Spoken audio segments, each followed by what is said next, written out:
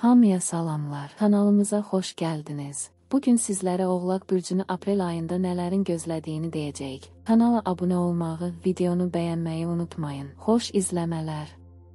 Oğlaq bürcü Təəssüf ki, aprel ayında bəzi problemlər yarana bilər.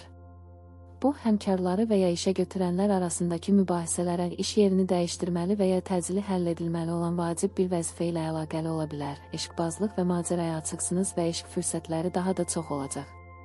Digər tərəfdən şəhvət planeti alovlu Mars Oğlaq bürcündə olacaq. Bürcünüzdə olan Saturn və Plutonun qızışdırdığı komplekslərinizi, maniyalarınızı və bezginliyinizi aşmağa çalışacaq. Belə tranzitlərlə oğlaqlar çətin zamanlardan keçə bilər və əlavə stres yaşaya bilərlər. Bu dövrdə istirahət etmə, xoşbəxtlik qaynağı və tarazlıq yaradıcılıq, əyləncə, tətil və ən əhəmiyyətlisi eşq yolu ilə gələcəkdir. Əgər ailəniz varsa, eviniz və sevdikləriniz əsas hədəfiniz olacaq və uşaqlarınız xoşbəxtlik və ləzzət qaynağı olacaq. Aprel ehtiraslı və sonsuz dayanıqlılıqla dolu olacaqsınız. Mars, Saturn və Pluton Oğlaq bürcündə olacaq. Bunlar ağıllarına gələn düşüncələri yerinə yetirən və hədəflərinə çatana qədər imtina etməyən planetlərdir. İlki sizin bürcünüzün idarəçisi Saturn, digəri təşəbbüs və hərəkət planeti Mars və sonuncusu hədəfə kilidlənmə və idarə planeti Pluton. Bu kombinasiya möhkəm, qərarlı və mərhəmətsizdir və astroloqları narahat edir. Şansınıza apreldə bu kombinasiya iki xeyirxah, Oğlağın karyera evinin idarəçisi Venera və Yupiter tərəfindən yaxşı dəstəkləniləcək. Çox çalışsanız belə nəticədə siz müvəffəqiyyətli olacaqsınız və bəzi vəziyyətlərdə şans da sizin yanınızda olacaq. Aprel boyunca mərkəz nöqtələriniz daşınmaz əmlak, ev, ofis, ümumi mərkəz olacaq. Ayın ikinci yarısı pul daha asanlıqla qazanılacaq. Mars, Saturn və Plutonun sizin bürcünüzdəki varlığı ilə aprel sıx və bəzən hətta təhlükəli bir ay olacaq. Yaralanma və ya qəzalara açıq olmamalı və özünüzü infeksiyalardan, zəhərlənmələrdən və əz kimi şeylərdən qorumalısınız. Ümumiyyətlə sakit, diqqətli və ciddi olmalısınız. İstirahət etmə və dincəlmək xüsusilə lazımlıdır.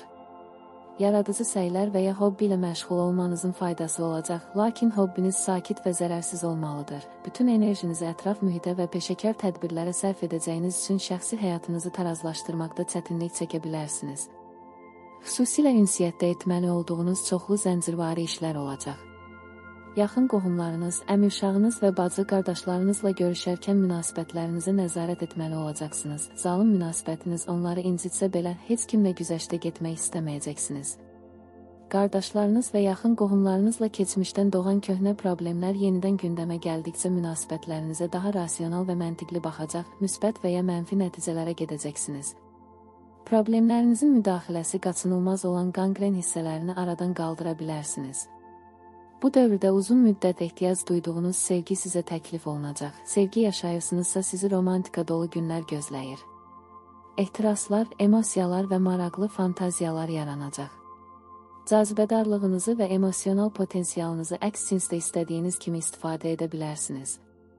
Qəzəbinizi cilovladığınız müddətcə səhhətinizdə problem olmayacaq sizi rahatlaşdıracaq, hobbilərinizə boş vaxt ayıracaq və sakit mühitlərə üstünlük verəcək mənəvi təcrübələr, meditasiya və mənəvi məsələlərlə məşğul ola bilərsiniz.